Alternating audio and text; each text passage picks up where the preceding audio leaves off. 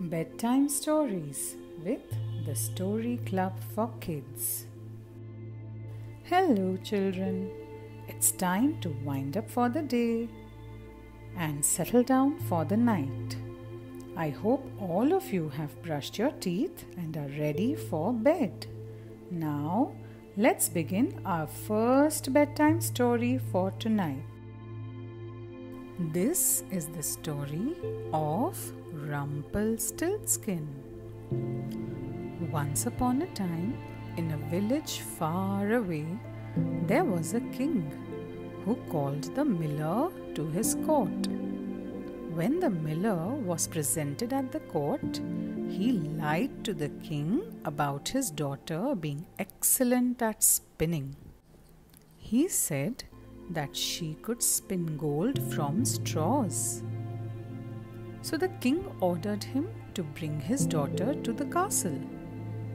Next day, the miller's daughter went to the castle and was taken to a room. There was a bale of straw, and she was asked to spin the straw into gold by next morning. She did not have a choice but to do as told.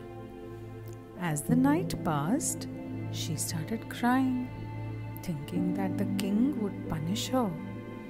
Just then, a gnome appeared in the room and told her, I can spin gold out of straw, but what will you give me in return? The miller's daughter offered him her necklace. The gnome agreed and he started spinning the straw into gold. Within some time, he had spun all the straw into gold. The miller's daughter gave him the necklace and he left. Next morning, when the king came to the room, he was surprised to see the gold. So the king took her to the castle's barn, which was full of straw, and asked the miller's daughter to spin all the straw into gold by next morning. So once again, the gnome appeared and told her that he would spin all the straw into gold, but in return, he wanted something more from her. The miller's daughter offered him her ring. The gnome agreed and he spun all the straw into gold. The next morning, when the king saw the shining gold, he became more greedy. So he told the miller's daughter about another barn in the castle full of straws, and she had to spin gold out of it by next morning. If she succeeded to do so, the king would marry her and she would be the queen. This time, the barn was bigger than the previous one. The miller's daughter started crying when suddenly the gnome appeared again and told the girl that he would spin all the straw into gold in return for something more. The miller's daughter had nothing to offer him. So the gnome asked her to give him her first-born child. She agreed, and the gnome started spinning gold out of the straw. Next morning, the king saw the whole barn full of glistening gold, and as promised, he married her and announced the miller's daughter as the queen of the kingdom. Soon, a year passed, and she gave birth to a baby boy.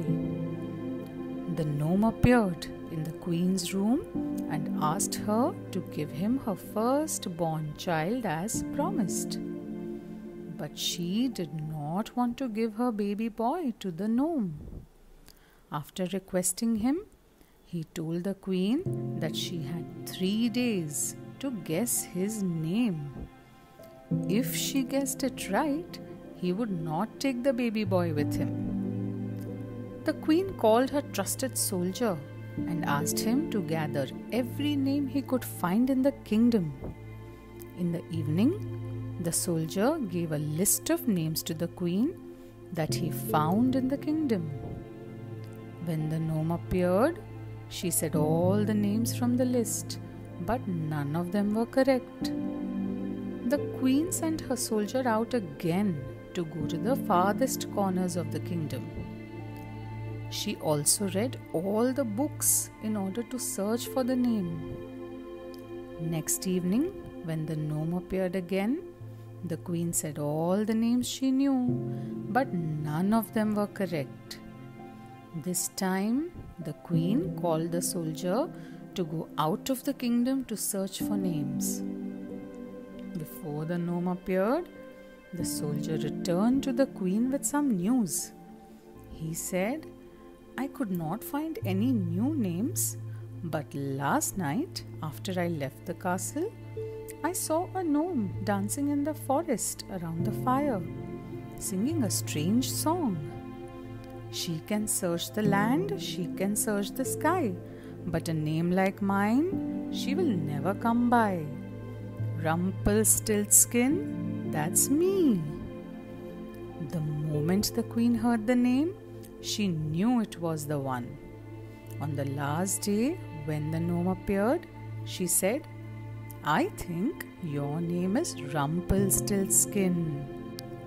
The moment the gnome heard his name, he got angry and stomped on the floor so hard that the floor cracked, making a big hole, which he fell into and was never seen again. The end.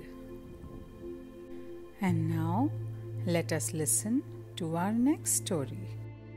This story is about Alice in Wonderland, originally written by Lewis Carroll.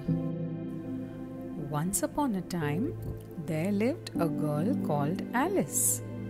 One day, she sat with her sister near a lake reading a book. The book, however, did not interest her and she got bored. Suddenly, she saw a pink eyed rabbit running by with a watch in his hand. Curiously, she started following the rabbit until it disappeared in a hole. Alice peeped into the hole and fell inside.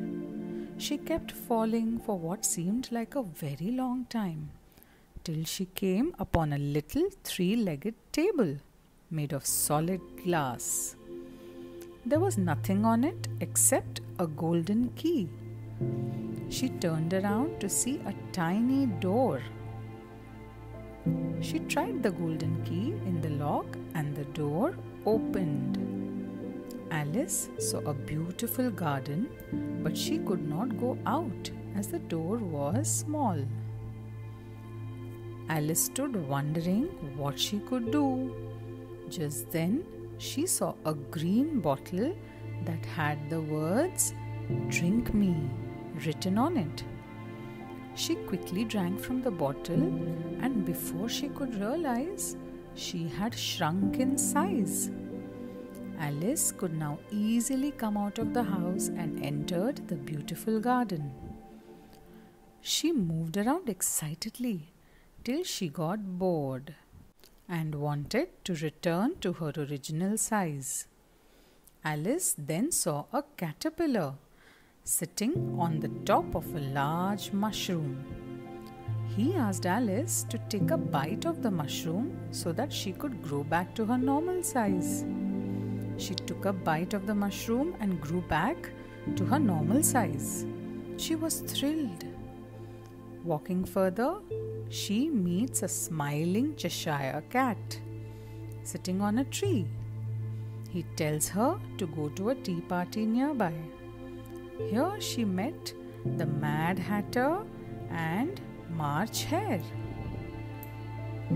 Alice continued her walk until she met the Queen of Hearts playing croquet in the fields. Also present there was the rabbit. After the game, Alice accompanied the Queen of Hearts to her palace, where they found out that someone had stolen the heart shaped tarts from the palace. The Queen of Hearts gets angry, thinking that Alice had taken it, and decides to teach her a lesson. Alice gets scared and begins pleading to the Queen of Hearts that she hadn't stolen anything. Suddenly, she feels someone shaking her and trying to wake her up.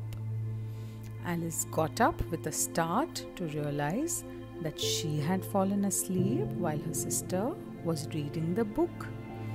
Thus, all the people she met and all the places she saw were just a dream. The end. And that's all for tonight. Good night, sleep tight, and don't let the bed bugs bite. Bye bye, children.